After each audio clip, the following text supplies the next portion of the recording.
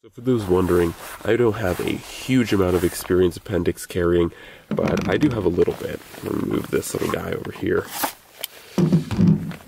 So I don't have a huge amount of experience, admittedly, but I do have a little bit. I've been carrying appendix style, or trying to carry appendix style, since about October of last year. And when I started with appendix carry, I started with this big boy here. And you can already tell the difference, size difference. This thing is a little bit big, but overall, it definitely taught me a few things about appendix carry and what to appendix carry if you're looking for something comfortable. Now, I'm not going to lie, the biggest thing when it comes to conceal carry as a whole, whether it's appendix or anything else, any other position, it's all about your body shape, your body size, and what you can put up with. Because admittedly, whenever you stick a gun, down your pants, it's going to protrude onto your body and it's going to probably feel uncomfortable in some position uh, at some point. And there's a lot of factors that go into this, though, that can help alleviate or change that feeling. So, appendix carry is one of the more trickier carries, at least in my opinion, because you know it's smooth sailing for the first 10 minutes, but you begin to realize after some time that there's a lot of organs that are right next to the appendix that really don't like to be bothered by the likes of a gun. When you carry something, say on the back right hip or the back left hip, you know, inside the waistband, you're primarily going up against your hip bone, which your hip bone really doesn't care about anything intruding on it, so for the most part, it's comfortable. However, like I said, there are some organs around your appendix that are don't feel the same way, so it can get really uncomfortable, particularly fast. So this was, like I said, my primary rig, and how I've concealed carried it appendix style hasn't changed too much and honestly I really don't enjoy conceal carrying this one appendix just because of the fact that two things. One, this handgun is a little bit big for my body frame, and two, I've learned that Kydex holsters are amazing in many ways, but appendix carry is not one of them. Something that I learned pretty well, I would like to say pretty early on, but it took me a few months, is that whenever you do start to appendix carry, you want as much mobility as possible. And what what I what do I mean by this? I mean that you want the ability for the gun, the holster, and everything to move as much as it possibly can. And obviously, the firearm is going to do the least moving because it's a pretty stiff thing. However, you can do two things uh, that will help with the mobility of your firearm as you bend, as you sit down, as you twist your body, whatever to pick something up do whatever you do as on your daily life. The first is that I would highly encourage if you are going to appendix carry, go to something like a leather belt. When I first started appendix carrying this gun, I was using a very rigid uh, duty belt that was made out of nylon webbing. It was a great belt to support things off of. In fact, I love it for bushcrafting because it holds everything up pretty well.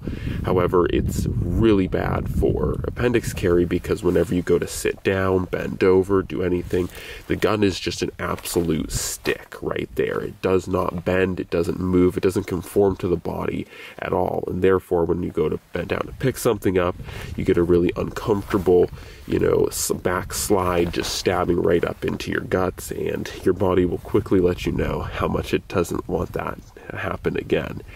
So, the first thing is using a leather belt.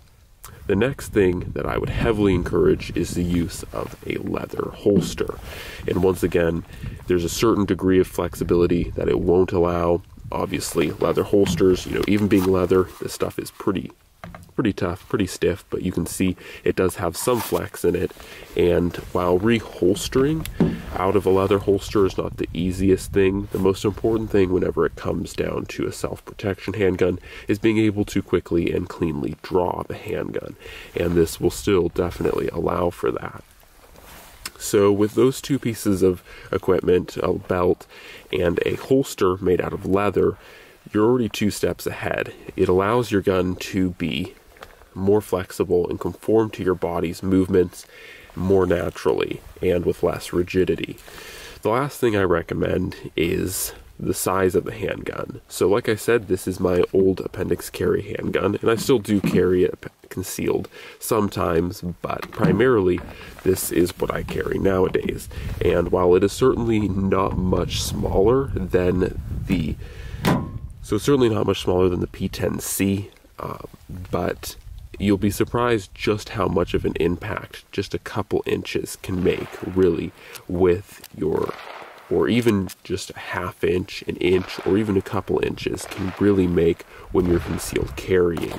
And for me, once again, this uh, this is a Springfield Range Officer Compact. It's not too much smaller than the CZP-10C, but it's just small enough that one, I don't have the handle sticking past my hips on my side, and secondly, it also isn't as bad whenever I bend over and try to pick something up because the frame isn't as high up. Now, some may say you do have a beaver tail here, and it is true, though it doesn't stick much past what the CZP-10C would do, but it also is much smoother. This right here may look painful, and I thought it would be painful, but it's actually really not that bad because, like I said, the Springfield's done a really good job at making sure that the actual contact point that you would hit when this is appendix carried, I'm sure they didn't envision appendix, but whenever you're concealed carrying it, the actual part you hit is right here. You don't actually hit this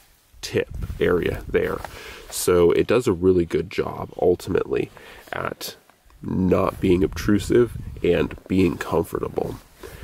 So the last thing you want to consider that, that would affect appendix carry and would really affect all carry is the thickness. Now, once again, going back to appendix carry, it's a little bit more important for thickness just due to the fact that it's not so much that it's more visible, but that it's more felt on your body. The wider the piece of metal you're trying to jam into your pants, the more disruption it's going to cause to those organs that are all around your body. My recommendations are that you pay attention to your equipment, your holster, your belt.